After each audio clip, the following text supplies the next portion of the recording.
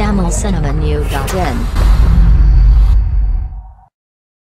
ஹரியானாவில் ஐஜார் மாவட்டத்தில் உள்ள பள்ளி ஒன்றில் கடந்த வெள்ளிக்கிழமை கணக்கு ஆசிரியர் ஒருவர் பன்னெண்டாம் வகுப்பு மாணவன் ஒருவன் கூர்மையான ஆயுதம் கொண்டு தாக்கியதால் அவர் மருத்துவமனையில் அனுமதிக்கப்பட்டுள்ளார்.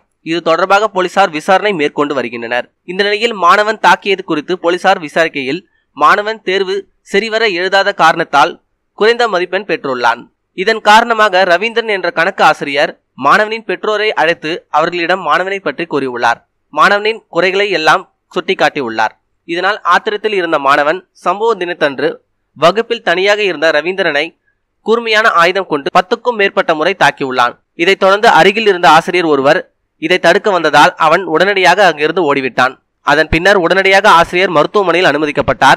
கூர்மையான ஆயுதம் கொண்டு தாக்கியதில் தற்போது அவர் ஆபத்தான நிலையில் இருப்பதாகவும் தொடர்ந்து சிகிச்சை அளிக்கப்பட்டு வருவதாகவும் போலீசார் தெரிவித்துள்ளனர்.